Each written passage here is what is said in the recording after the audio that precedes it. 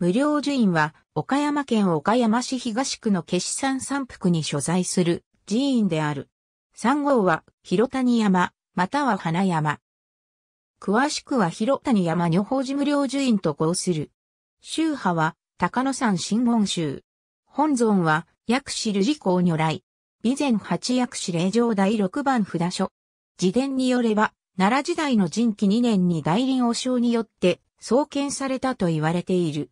その後荒廃し、平安時代中期の神奈2年花山天皇の直眼により道具が再興され、三号が花山となったと伝えられている。大正5年には山内にあった達中の伊徳院を合併した。また、山内の達中寺院として、西方寺が所在する。毎年2月第3土曜日に行われる、最大寺会用に使用される、宝木の原木を最大寺からの死者に授与する、宝木取りという儀式が行われる。なお、明治33年までは、西方院が原木授受を行っていた。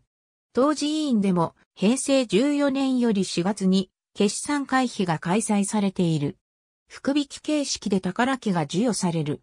幕末まで開催されていたとされ、大正時代に福引形式で復活したが、再び衰退した。平成13年に民家で大正時代の宝木が見つかったことから翌年より再開された。平成23年は東日本大震災により開催を自粛した。